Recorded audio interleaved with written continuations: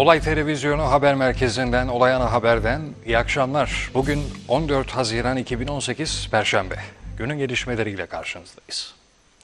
Sevgili izleyenler bültenimize sıcak bir gelişmeyle, önemli bir gelişmeyle başlıyoruz. Şanlıurfa'nın Suruç ilçesinde AK Parti Şanlıurfa Milletvekili ve Milletvekili adayı olan İbrahim Halil Yıldız'ın esnaf ziyareti sırasında silahlı kavga çıktı. 3 kişi öldü, 8 kişi yaralandı. Olay Dikili mahallesindeki çarşıda meydana geldi. AK Parti Şanlıurfa Milletvekili ve Milletvekili adayı İbrahim Halil Yıldız'ın esnaf ziyareti sırasında bir tartışma çıktı. Kısa sürede büyüyen tartışma silahlı ve bıçakların kullanıldığı kavgaya dönüştü. Kavgada Yıldız'ın kardeşinin de aralarında olduğu 11 kişi yaralandı. Yaralılar ambulanslarla Suruç ve Şanlıurfa merkezdeki hastanelere kaldırıldı. Tedavi altına alınan yaralılardan 3'ü hayatını kaybetti. Yaralıların hastaneye getirilişi sırasında da yeniden bir gerginlik çıktı. Kavgaya çevik kuvvet polisi müdahale etti. Kavga nedeniyle Suruç'ta yoğun güvenlik önlemleri alındı.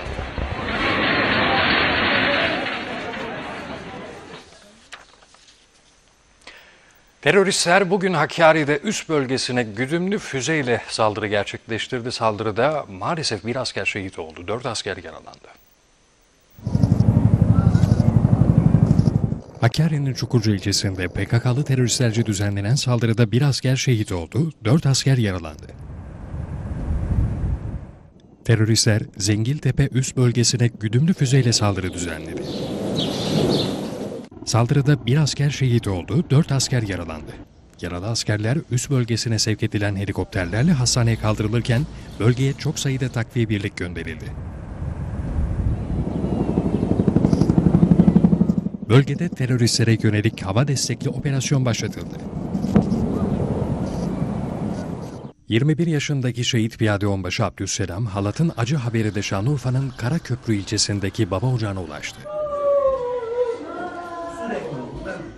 Bayram arefesinde 7 çocuklarından en küçüğünü teröre kurban veren aile gözyaşlarına boğuldu.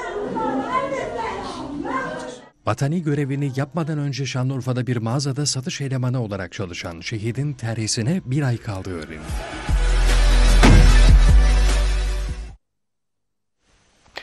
Yarın Ramazan bayramı. Bayram alışverişini son güne bırakanlar çarşı pazarda eksikliklerini tamamlama telaşındaydı. Vatandaş cebine en uygun ürünleri, esnafsa eski bayramları aradı. Yok yavrum yok yok eski bayramlar kalmadı. Bayram alışverişini son güne bırakanlar soluğu çarşı pazarda aldı. Oğlumuza bir şeyler bakıyoruz, eşimize bir şeyler bakıyoruz. Bize daha sıra gelmedi henüz. Vatandaşlar alışverişi bütçesine uydurmak için tezgah tezgah, dükkan dükkan gezdi. Esnafsa eski bayramları aradı. Pahalı, çok pahalı. Umduğumuz gibi değil. Hanımın öyle iyi iyi diyor ama pek de iyi. Fiyat olarak yüksekliğine iyi diyor. Her kesime göre var. Yani ucuz isteyeni ucuz, kaliteli isteyeni kaliteli. Bu sene daha durgun. Bayağı durgun. Yani bundan bir 5 sene, 6 sene önceye baksan yani şu an burası tıklım tıklım olması lazım ki zaten çarşı bomboş yani. Bayramlık kıyafetlerini alanlar soluğu misafirlerine ikram edecekleri çerez, çikolata ve şeker tezgahlarında aldı. Bayram hazırlı işte bayram şekeri. İşte evde bayramda gidecek tatlılar. Tatlı alıyoruz, şeker alıyoruz, kolonya alıyoruz. Şu anda şeker alacağız daha yeni başlıyoruz. Fiyatlar iyi iyi uygun yani. 3 kilo 4 kilo olur mu? Çocuklara mı hepsi? Evet şu olur. Şeker ve çikolata satışları esnafın da yüzünü güldürdü. Şeker işlerimiz hızlı. Bayram telaşesi başladı artık. Şu an için 10 liradan tutun 40 liraya kadar şeker çikolata çeşitleri var. Fiyatlar 50 lira, karışık çerez 40 lira, 20 liraya var karışık çerez. Fiyatlar birazcık yüksek ama artık yapacak bir şey yok. Ve bayramların olmazsa olmazı baklava. Tatlıcılar sipariş yetiştirme telaşındaydı. 1000-1500 tepsi siparişimiz var. Cevizli baklava 35 liradan başlıyor. Antep fıstığı 70 liradan başlıyor. Yani fıstıktaki durumdan dolayı ama bizim elimizde var, mevcut. Bu Ramazan için. Ama tabii ki vazgeçilmez lezzetimiz. Hangisini alıyorsunuz? Bunu alıyoruz. Cevizli ve fıstıklı. Bayram kadayıf yapıyoruz mis- misafirlere ne yapacağız? Kim yapıyor? Hanım yapar. Yapıyor mu? Tatlıcı be be Kosova'dan be ya. Arnavut niye yapmasın? Ramazan ayı geride kalırken uzmanlar bir ay boyunca oruç tutan vatandaşları bayramda doğru beslenme konusunda uyarıyor. İşte kahvaltıdan Ramazan bayramının olmazsa olmazı tatlı tüketimine kadar dikkat edilmesi gerekenler. Ramazan ayını oruçlu geçirenler dikkat. Uzmanlar bayramda doğru beslenme konusunda uyarıyor. Bayram kahvaltısında e, midemizi çok fazla yormayacak gıdalardan beslenmekte fayda var. Bunların başında tabii ki proteinli gıdalar geliyor. Yumurta, peynir çeşitlerinden faydalanmamız önemli. Sabah kahvaltısında ağır ve mideyi rahatsız edecek gıdalardan uzak durmak gerekiyor. Burada sucuk, pastırma gibi şarküteri ürünlerinden uzak kalabiliriz. Aynı zamanda tabağımızın yarısını mevsim sebzeleriyle doldurmamızda da fayda var. Bayram ziyaretlerinde ikram baskısına da dikkat. Mümkünse sınırlı sayıda şerbetli tatlı ayranla tüketilmeli. Gideceğimiz yere kendimize bir sınır koyarak gitmekte fayda var. Bayramın birinci günü dört dilim baklava hakkım var şeklinde. Baklavanın yanına ayran ikram etme kültürümüzde olan bir durum.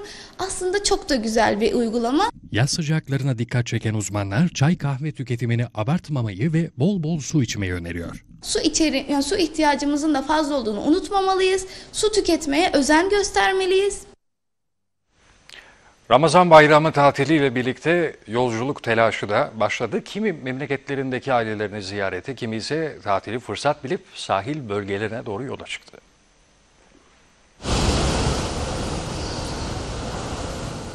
Ramazan bayramı tatili başladı. Yollardan yine bildik görüntüler kameralara yansıdı. Arife gününden yola düşenler otogarların yolunu tuttu. Aydın'a gidiyorum. Ee, bayram sebebiyle ziyarete annemlerin yanına. Vatandaşların güvenli bir şekilde sevdiklerine kavuşması içinse denetimler sıklaştırıldı. İçişleri Bakanı Süleyman Soylu da İstanbul 15 Temmuz Demokrasi Otogarı'nda uygulamaları denetledi. Hayırlı bayramlar diliyoruz. 70 bin görevlimiz yollarda, müfettişlerimiz yollarda. Kazaların çok olduğu bizim kaza kara noktası dediğimiz kara noktalarda 24 saat esaslı onlar da denetimler yapıyorlar. Karayollarındaki kilit noktalarda yine yoğunluk yaşandı. Kocaeli Tem'le Düzce Tem Bolu Dağı tünelinde sürücüler adım adım ilerledi.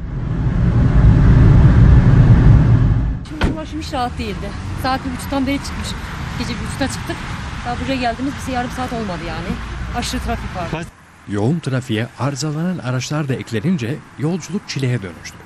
İstanbul'dan sonra çok yoğun. Özellikle İzmit tarafı. Bolu'da tünele gelirken bir yerde bir kaza vardı. Orada bir ara trafik durdu. Tatilciler Tekirdağ, Çanakkale ve Balıkesir'deki feribot iskelelerinde de yoğunluk oluşturdu. Hayırlı bir bayram geçer memleketimiz için. Az kazalar olur.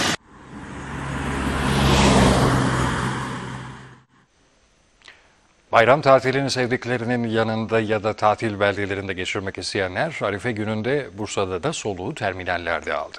Yollardaki yoğunluk akşam saatlerine doğru iyice artmaya başladı. Bursa şehirler arası otobüs terminalinde bayram telaşı var. Bugün biraz hareketlik oldu. Zonguldak. Zaten ailem orada. Ailemle beraber geçirmeyi düşünüyorum. Tatil yapmayı düşünüyoruz. Fırtına Deresi'ne öyle yüzerek geçirmeyi düşünüyoruz. Yolculuk nereye? Çanakkale. Akrabalarımla, sevdiklerimle memlekette bir tatil olacak. Tatilin hafta sonuna rastlaması ve 24 Haziran seçimleri nedeniyle otobüs firmalarının beklediği yoğunluk yaşanmadı. Yine de kısa mesafeler ve tatil beldelerine ilgi bir hayli fazlaydı. Doluluk oranları geçtiğimiz senelere göre biraz durgun seçimlerden dolayı. Yine ek seferlerimiz var tabii ki. Yolculuk nereye acaba? Adapazarı. Bayram ziyareti. Evet. Akçay nasipse yoğun bir çalışma temposundan çıktık. Tatil yaparak, dinlenerek ailece geçirmeyi düşünüyoruz. Bursa Emniyeti de bayram öncesi denetimlerini sıklaştırdı. Trafik Denetleme Şube Müdürlüğü ekipleri terminalde kontrol noktası kurdu. Ekipler otobüsleri tek tek durdurarak şoförlere ve yolculara trafikte uymaları gereken kurallarla ilgili broşürler dağıttı. Seyir halindeyken cep telefonunu kullanmamanız, takip mesafene uymanız ve sağa ve sola dönüşlerde bisikletlerinize yol vermek. Öncelikli yol vermek. Bursa'da bayram tatilini şehir dışında geçirmek için kendi araçlarıyla yola çıkanların da etkisiyle trafik yoğunluğu akşam saatlerinde artmaya başladı. Bursalılar bayram boyunca tramvay, Bursaray ve belediye otobüslerini %50 indirimli kullanacak. Valilik ve Büyükşehir Belediyesi ulaşımdan güvenliğe kadar bayramın huzur ve güven içerisinde geçmesi için bir dizi önlem aldı. Bursa'da Valilik ve Büyükşehir Belediyesi bayram önlemlerini aldı. Ekiplerimizin 7-24 hazır olduğunu ben özellikle hatırlatmak istiyorum. Bayram boyunca Bursaray seferleri sürecek. Otobüs seferleri ise pazar günü ve resmi tatil usullerine göre yapılacak. Bayram boyunca Bursaray tramvay ve otobüsler tüm vatandaşlara %50 indirimli hizmet verecek. Ayrıca Kent Meydanı ile Hamitler Mezarlığı arasında ücretsiz otobüs seferleri düzenlenecek. Hem büyükler için hem de beraberinde öğrenci ve diğerleri için tamamında %50'lik bir indirim söz konusu. Mevcut indirimlerden hariç %50'lik bir indirim söz konusu. Vatandaşlar ulaşımla ilgili taleplerini 0850 850 99 16 numaralı telefona bildirebilecek. Alo Belediye 153 ile 716 33 30, 261 52 40 ve 444 16 çift 0 numaralı hatlardan zabıta ekiplerine ulaşılabilecek. İtfaiye de 24 saat görev başında olacak. Yangın ihbarları 110, su ve kanalizasyonla ilgili şikayetler ise 185 numaralı hatta bildirilecek. Emniyet Müdürlüğü vatandaşların yoğun olduğu bölgelerde güvenlik tedbirlerini arttıracak. Sağlık personeli ve UEDAŞ ekipleri de bayram mesaisi yapacak. İhtiyaç halinde jandarmaya 156, polise 155, acil sağlık hizmetlerine 112 ve elektrik arıza hizmetlerine 186'dan ulaşılabilecek. Şimdi siyasete geçiyoruz. Cumhurbaşkanı Recep Tayyip Erdoğan Ramazan bayramı dolayısıyla mesaj yayınladı. 24 Haziran seçimlerini işaret eden Erdoğan yayınladığı videoda seçim vaatlerini de sıraladı. Erdoğan tüm vatandaşlarımdan iradelerine sahip çıkmalarını, oylarını sandığa yansıtmalarını bekliyorum dedi.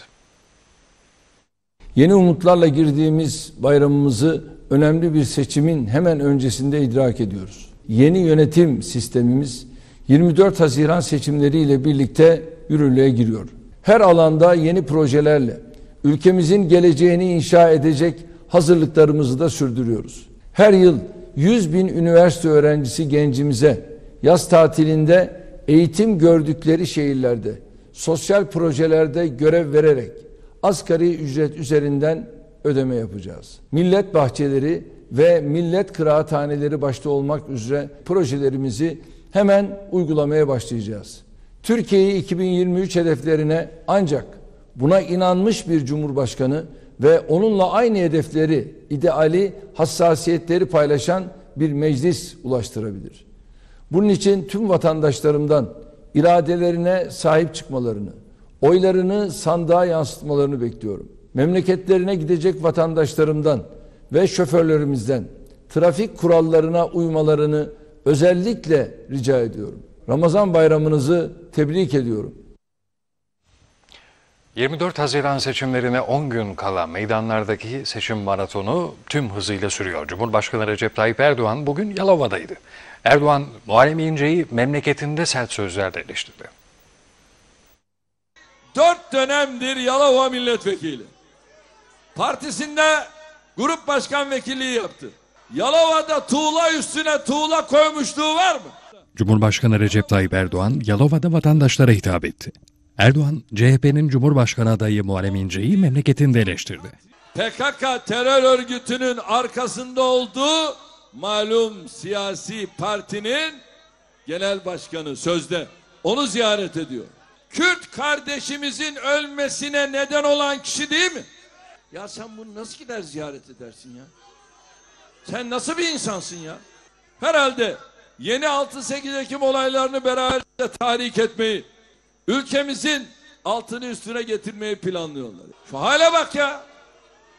Benim milli, yerli, inançlı Yalovalı kardeşim böyle birisini asla desteklemez. Erdoğan adaylık şartlarıyla ilgili bir düzenleme sinyali de verdi. Cumhurbaşkanı adayı oldu. E o zaman serbest bırakın. Böyle bir adalet olur mu ya? Zaten bunun da gözden geçirilmesi lazım. İnşallah şu seçimi atlatalım. Adaylık şartları arasına sadece hükümlü olmayı değil, tutukluluğu da koyacağız. Burası ne yol geçen anı mı ya? Başbakan Binali Yıldırım ise seçim çalışmalarına bugün İstanbul'da devam etti. İlçelerde vatandaşlarla bir araya gelen Yıldırım'ın hedefinde muhalefet vardı. Türkiye'yi yeni bir sistemle 24 Haziran'da buluşturuyoruz. Başbakan Binali Yıldırım, İstanbul'daki seçim çalışmalarına Sultanbeyli'den başladı. Yıldırım'ın gündeminde CHP'nin Cumhurbaşkanı adayı Muharrem İnce'nin iktidar yatırımlarına yönelik eleştirileri vardı. Diyor ki köprü pahalı. Kardeşim en pahalı hizmet olmayan hizmettir. Köprü olmasa ne yapacaksın? 3 saatte Yalova'ya gideceksin. Şimdi Yalova'dan atlıyorsun. AK Parti'nin yaptırdığı köprüden geçiyorsun Sultanbeyli'ye 40 dakikada geliyorsun. Sancaktepe'de STK temsilcileri ve kanaat önderleriyle buluşan Yıldırım, eleştirilerini burada da sürdürdü. Bakıyorlar ki söyleyecek bir şey yok. Her şey yapılmış. Bu sefer sinirleniyorlar. Başlıyorlar yıkmaya. Külliyeyi yıkacağız diyor. Kanal İstanbul'u yaptırmayacağız diyor. Bunların adı yıkım ekibidir. Başbakanın gündeminde Kandil'e yönelik operasyon da vardı. Türkiye'nin güneyinde emperyal devletler bir terör devleti kurmak istiyor. Akılları sıra Türkiye'yi terbiye edecekler. Nasıl Afrin'de kafalarını ezdiysek şimdi de Kandil'de, Kandil'i de başlarına yıkacağız. CHP Genel Başkanı Kemal Kılıçdaroğlu adalet yürüyüşünün birinci yıl dönümünde Hak, Hukuk, Adalet belgeselinin İstanbul'daki gala törenine katıldı. Cumhurbaşkanı adayları arasındaki seçim rekabetinin adil olmadığını söyleyen Kılıçdaroğlu, sivil darbe sürecine sandığa gidip son vereceğiz dedi. CHP lideri Muharrem İnce'yi eleştiren bir tweet atan Danıştay üyesini ise onurun varsa bir saat bile görevde kalmaz istifa edersin sözleriyle eleştirdi. Onurun varsa insansan bir saat bile o görevde kalmaz derhal istifa edersin. CHP lideri Kemal Kılıçdaroğlu, Cumhurbaşkanı adayı Muharrem İnce'yi eleştiren tweet atan Danıştay üyesi Aysel Demirel'i çok sert sözlerle eleştirdi. Her şeyden önce en büyük zararı yargı camiasına veriyor. Sevgili hakim kardeşim, görevini bırakacaksın. Onurunla çekileceksin. Eğer çekilmiyorsan, orada oturuyorsan açık ve ne söylüyorum? Sen onursuz bir yargısın. Kılıçdaroğlu, adalet yürüyüşünün birinci yıl dönümünde Hak Hukuk Adalet belgeselinin gala törenine katıldı. Asla yalnız yürümemenin tek koşulu var. Haklı olacaksınız. Hak verilmez, alınır diye bir kavramımız vardır. CHP lideri seçim kampanyaları üzerinden Cumhurbaşkanı Erdoğan'a hedef aldı. Bir cumhurbaşkanı adayı hapiste.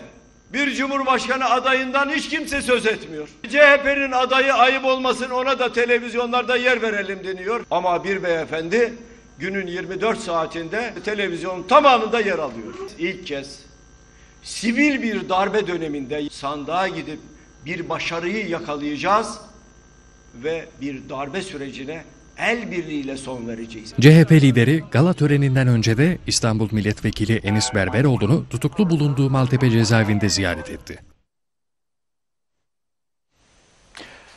24 Haziran Milletvekili ve Cumhurbaşkanı genel seçimi için son 10 günün içindeyiz. Meydanlar hareketli, milletvekili adayları saha çalışmalarını tüm hızıyla sürdürüyor. Biz de bugün bir adayı ana haberde ağırlıyoruz. Büyük Birlik Partisi Genel Başkan Yardımcısı ve AK Parti Bursa Milletvekili adayı Ahmet Yeliz bugün stüdyomuzda. Ahmet Bey hoş geldiniz. Teşekkür ediyorum, hoş bulduk. Efendim şimdi Büyük Birlik Partisi bilindiği gibi seçimlerde e, AK Parti'yi destekleme kararı aldığı bu anlamda ve bazı adaylar da AK Parti listelerinden seçime katılıyor. 18 kişilik bir kontenjan olduğunu biliyoruz. Bu isimlerden birisiniz. Bir süredir de e, vatandaşlarla bir araya geliyorsunuz, sağ çalışmalarına devam ediyorsunuz. Bugün de e, çalışmalar devam etti. Önce bir genel bir seçim değerlendirme, seçim atmosferi değerlendirmesiyle başlayalım isterseniz. Teşekkür ederim. Öncelikle bizi izleyenlere saygı ve sevgilerimi sunuyorum. Kusura bakmasınlar. E, Sahadaki çalışmalardan Evet, sonra evet. sesimizi de yitirdik. E, Bunun sebeplerinden bir tanesi de dün akşam e, Gürsü ilçemizdeydik. E, Orada yaptığımız çalışmalarda e, birazcık üşüttük herhalde. Bugün de ayaküstü bir tedavide gördük. Bu arada yarın e, mübarek Ramazan bayramı. Ben izleyicilerimizin de Ramazan bayramını şimdiden kutluyorum. Ee, bahsettiğiniz soruya konuya gelince 16 Nisan'da Türkiye yeni bir hükümet etme sistemiyle bir anayasa oylaması yaptı. Bu yaptığı oylama neticesinde yasama ve yürütme birbirinden ayrıldı ve e, daha sonraki uyum yasalarıyla bizlerin de destek verdiği uyum yasalarıyla siyasi partilerin kendi arasında ittifak yapmaları yasal hale geldi.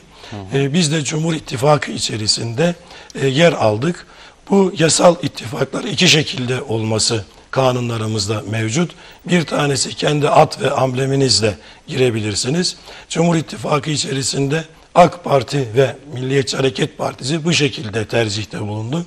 Bizler de yine uyum yasaları çerçevesinde, tanınan haklar çerçevesinde partimizden müsaade isteyerek AK Parti listelerinde e, aday olduk. Bu yasal bir e, seçim işbirliği. Daha önce e, hileler yapılıyordu. Seçimlerin bu şekilde ittifak yapılması yasaktı. Kendi partilerinden istifa edip bir başka partiden milletvekili olup daha sonra oradan istifa edip tekrardan kendi partilerine dönüyorlardı. Bu yeni sistemde böyle bir mecburiyet yok. Bizler Büyük Birlik Partisi'nden e, adına AK Parti listelerinden aday oluyoruz.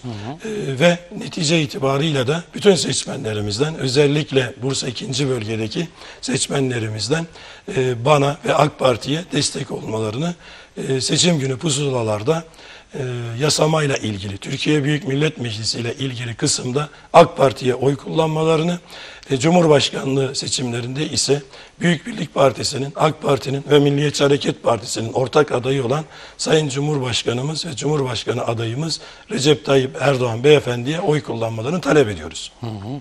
Şimdi e, siz gördüğümüz kadarıyla AK Parti Bursa 2. Bölge 7. sıradan aday gösterilmişsiniz. Toplamda e, Türkiye genelinde 18 aday. Az önce Doğrudur. de be- belirttiğimiz gibi Doğrudur. e, bu 18 Büyük Birlik Partili, AK Parti listelerinden aday gösterilen 18 ismin de parlamentoya girmesi bekleniyor mu? mutlaka bu şekilde yüksek bir oranda girmesi e, mümkün değil. Keşke öyle olmuş olsa ama her şey biliyorsunuz yerli yerine oturması lazım. Evet. Gönlümüzden geçen 18 arkadaşımızın içerisinde en yüksek sayıda mecliste temsil olabilmektir. Bu anlamda bizim birbirinden değerli arkadaşlarımız AK Parti listelerinden aday oldu.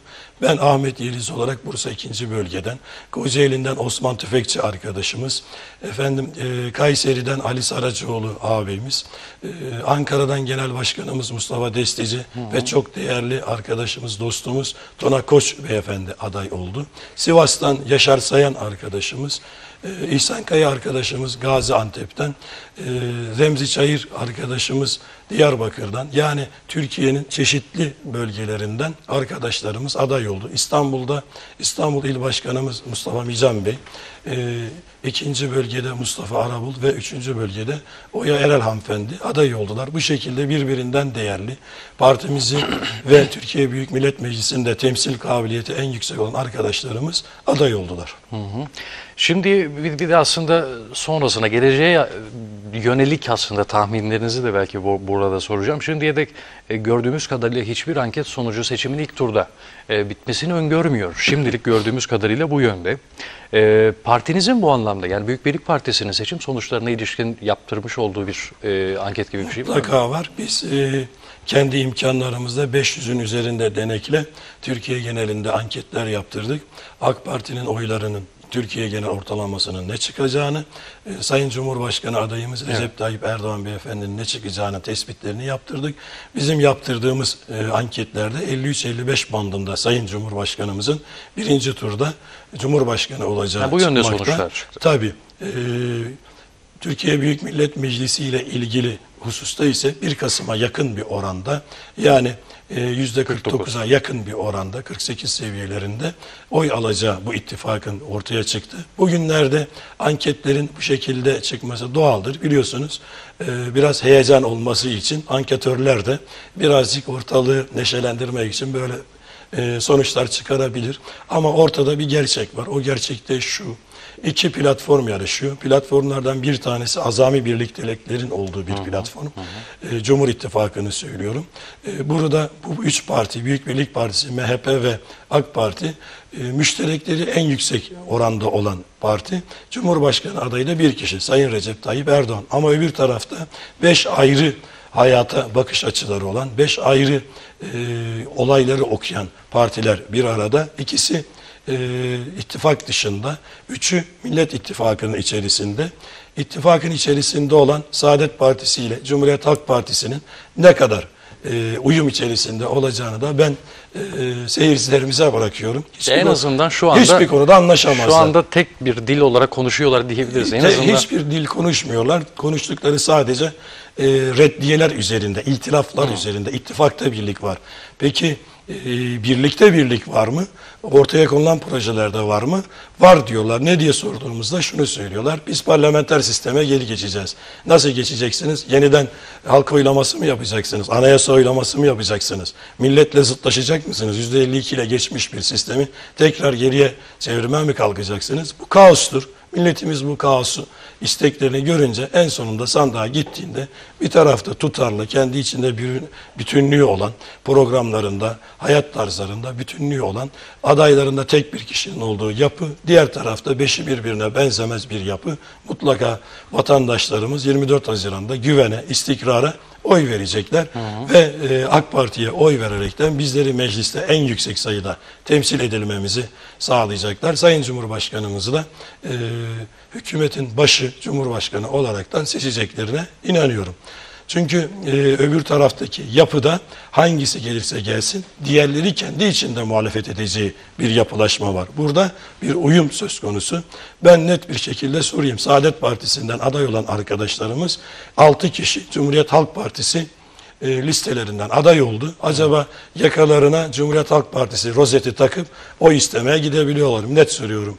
E diyorlarsa Şimdi o ki, dikkatimi çekti. ben ama Siz de hem iki Büyük parti- Birlik Partisi'ni hem AK Parti'yi Evet. e, rozetini taşıyorum. 25 senedir şerefle taşıdığım Büyük Birlik Partisi rozeti hala yakamda.